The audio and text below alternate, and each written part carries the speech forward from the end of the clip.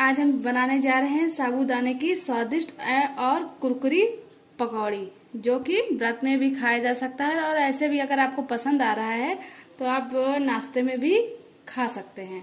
देखिए कि इसमें क्या क्या लगता है। ये मेरे पास चार पाँच बड़े आलू हैं, फिर दो कटी हुई टमाटर है और एक हरी मिर्च है, क्योंकि हमारे यहाँ कोई तीखा नहीं खाता है, इसलिए मिर्च को हम एक ही डालेंगे।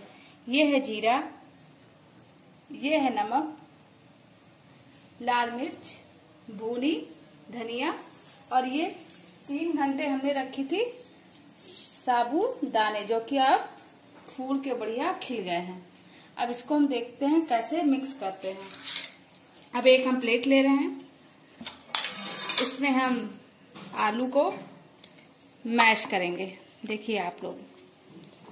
जब भी मन हो, ज़्यादा ना वक्त लगता है, बहुत ही जल्द बनता है और खाने में बहुत ही लजीज लगता है। फिर इसमें हम साबुदाने को ऐड करेंगे। इसमें हम डालेंगे जीरा, हाफ़ स्पून फिर भुनी हुई धनिया, हाफ़ स्पून,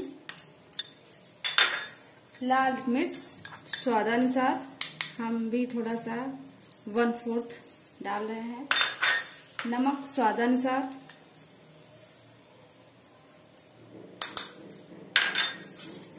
टमाटर कटे हुए। हरी धनिया कटी हुई।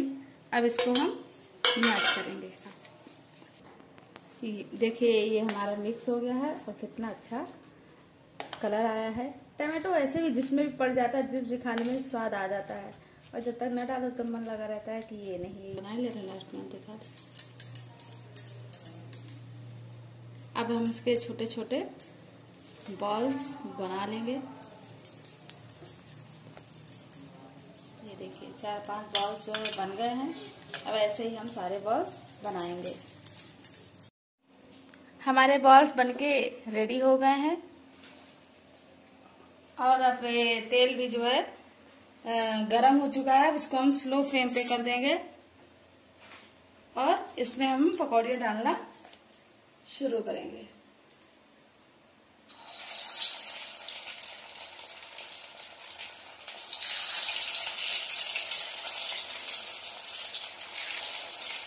बहुत ज़्यादा नहीं डालेंगे, चार ही डालेंगे, क्योंकि ये चिपकने लगता है, इसलिए थोड़ा थोड़ी दूर।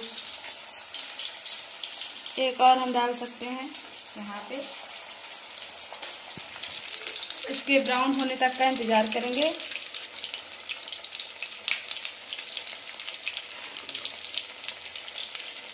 अगर हम कलछी शुरुआत से ही लगाएँगे तो टूट जाएँगे। इसलिए थोड़ा लाल हो जाए तभी हम इसको पलटेंगे।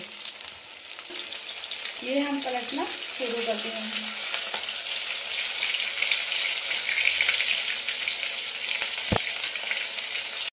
पक चुके हैं। अब इन्हें हम निकाल रहे हैं। देखिए इसको कि ऊपर से क्रंची और अंदर से बहुत ही सॉफ्ट है।